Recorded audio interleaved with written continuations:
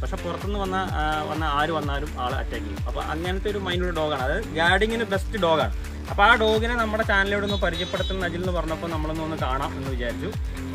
വാരികെ ആ ബീജം അങ്ങോട്ട് ഇട്ട് കൊടുത്തേ.